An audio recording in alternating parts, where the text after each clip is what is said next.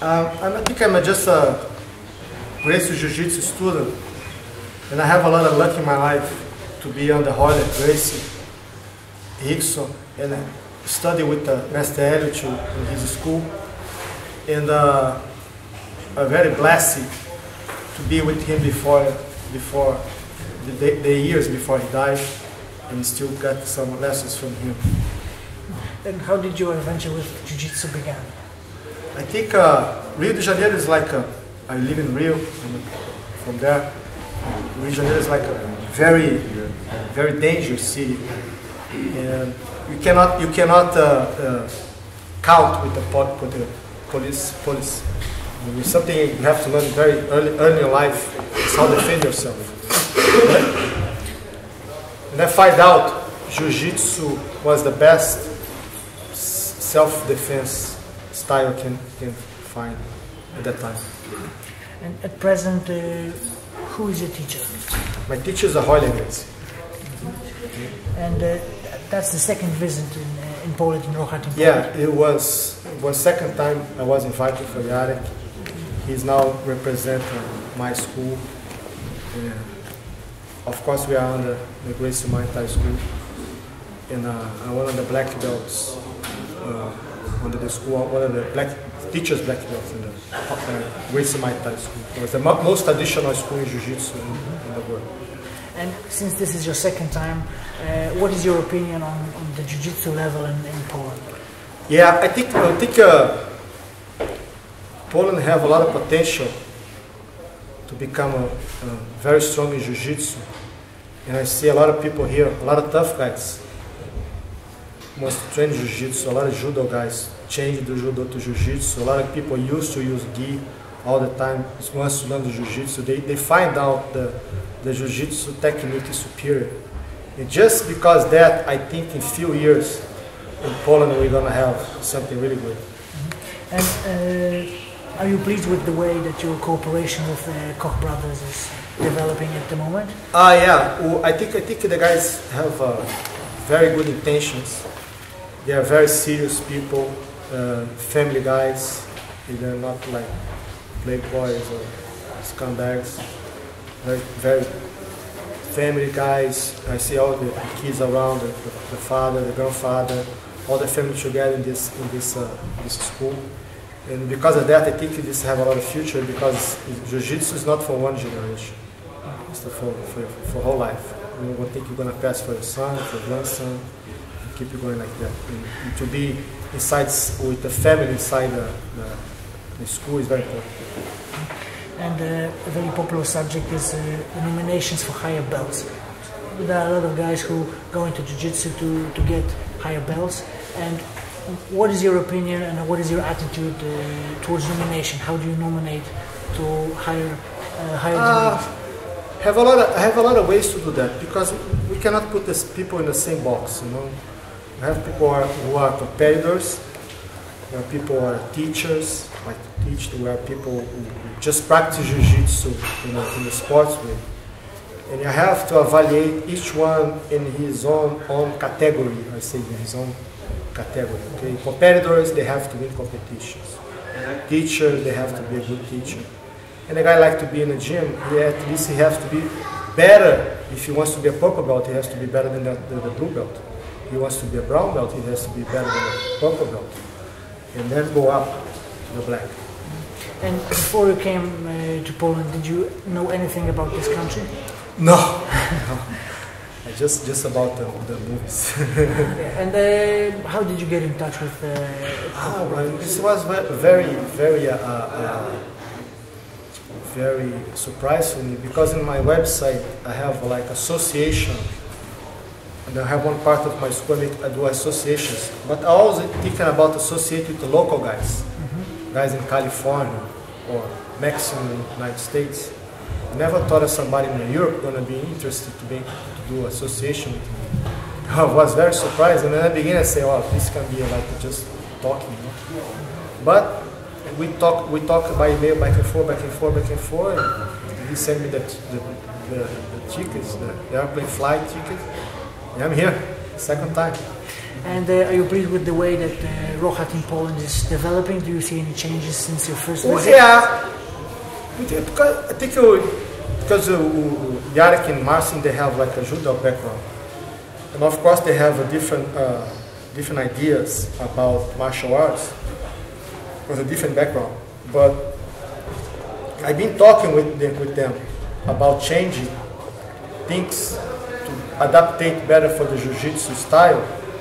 And uh, they are very open. They accept all my, my, my ideas. They accept all my the things like I, I, I telling them to change. I think they, they try to really hard to, to follow the, the path I, I've been following by uh, from the Gracie family. You know something about the competition. The last time you took part in uh, Pan Am's, Yeah, well, I, I, I fight Pan Americans many times. Uh, I was I, I feel today I just I just compete to I just compete to, sharp. to keep sharp. And but uh, this last competition I wasn't too focused. My wife is pregnant for eight, eight months pregnant. I have I have a, we live in California, just us. I have a lot of responsibility in home. Every time I try to leave home, it's very hard for me to leave the, my wife with eight months pregnant by herself with my little son. And uh, I make a mistake. Normally we fight, on, black belts fight on Sunday. They put us to fight on Saturday. And I leave a day before. I, I drive at night time. And when I get in the competition, I didn't sleep well because I was so hyper for the driving. I wake up late, I get there, they calling my name, I have just five minutes to warm up. I get in the mats, I think I'm not focused, I'm not concentrating on the competition. You know? And uh, I lost in the first round by a takedown. But this was, I remember the last time I lose by, by the first round, it was 15 years ago. I always go to the finals. If I'm not first, I'm the second. I win like five times, and I was three times second place in the Pan do you plan to take part in uh, worlds and other competitions? No, I'm, I'm uh, words. I'm, I'm, I'm now I'm 40, 43 years old, and uh, the Worlds, I think like a, is a pro, uh, professional level. The guys fight the wars. They are young guys, very strong, in very good shape. I have other responsibilities in my life these days. I have like family. I have school. I have uh, all the all these guys to, to, to teach, to travel, and I become more like a teacher and less competitor. And uh, my, my goal is not not the mundials anymore. I fight like six six six times the mundials before I reach my thirties, and now I just fought this competition at masters masters competition for the old guys. And uh, your, your club is on the, the flag of uh, Gracie Humaitá, if I'm Yeah, not mistaken. I'm- And can you explain the difference between Gracie Humaitá and Gracie Barra? Because Gracie Maita was the was the first school. Okay, it was a school developed by Master Helio. And there were come uh, Rickson, Royler, and Royce, the most famous Gracie fighters in the history. Gracie Barra is is is uh, is cousins. Is the other side of the family, sons of Carlos Gracie. They are create this new new uh, school on, ba- on Barra. It's like a neighborhood far away from us, and uh, become the team we always compete against. The big, the two biggest teams in the in the in, the, Brazil, Maita and Gracie Barra. Who is uh, making the greatest impression on you right now uh, in the Jiu-Jitsu world? Which competitor? Uh, for sure, Roger is the best, but uh, I think he's uh, have a lot of uh, he, his body help him a lot. He's very big, very tall, very heavy, very strong. But I like so to more the Xande Ribeiro Jiu-Jitsu. He's not that big, he's not that strong, but he's a, for me he's a, have a perfect Jiu-Jitsu. I, I- everything he does, I try to see what he's doing because it's adapted perfect for my game. Especially because we learned from the same school and uh, we change we, we talking a lot. He's a he's gonna be the, the godfather of my daughter. He's always with me in my house. And we're always talking uh, and training together. And uh, for me he's still one, of the best ones. If if he Roger's the best he's the second best.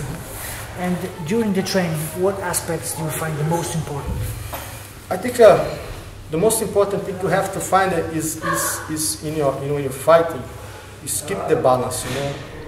is never, is never lose the patience, never get angry, never get frustrated, and always try to keep the, the focus and going in, to try to reach your goals. Of, of course, the, when you're training with the, with the young guys, when you're training with the new guys, you don't want to kill the guy.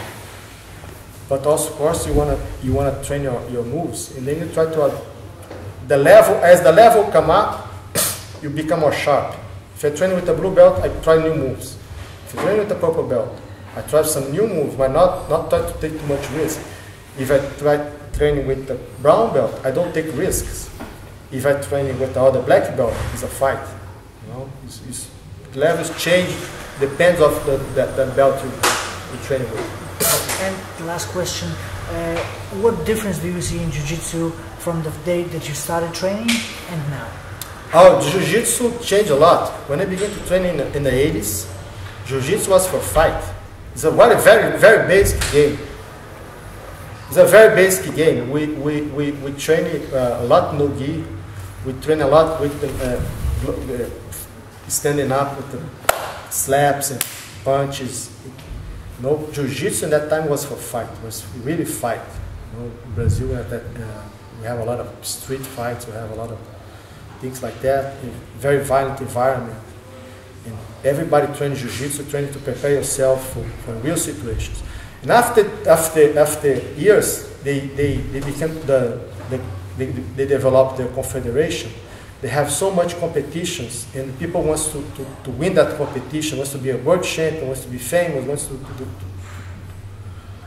to compete more and win competitions. Then jiu-jitsu began to change because everybody began to be more specialists in the competitions.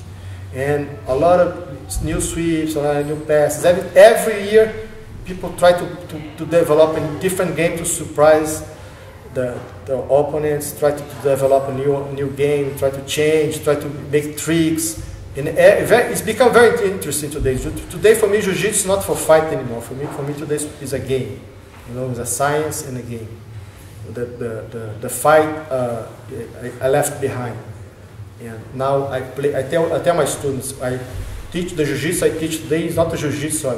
Today jiu-jitsu is like chess, like science, you know, like physics. It's very, very complex and it's very interesting. It also is like the universe. because jiu-jitsu is a, is, a, is a game when you constant movement, like the universe, you're always moving. It's always something's changing. You're always something moving. Sometimes you go, go, go, go, go, when you get here, you're back to the beginning again.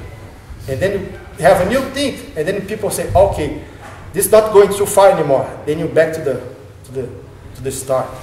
It's very interesting, you know. I see, I see a lot of things changing, but people are still winning with a lot of old movements. And people, a lot of guys try new things. And it, like Roger, Roger played a very basic game, like the Gracie Jiu-Jitsu I learned in the, the 80s. He played today. That very basic game, but very precise. You know, and it works very good for him. And to finish with, would like thank anyone, uh, or, you know. Thank you first. thank Yarek, thank Marcel to let me come here. Okay? Thank you guys. Thank you very much. Thank you.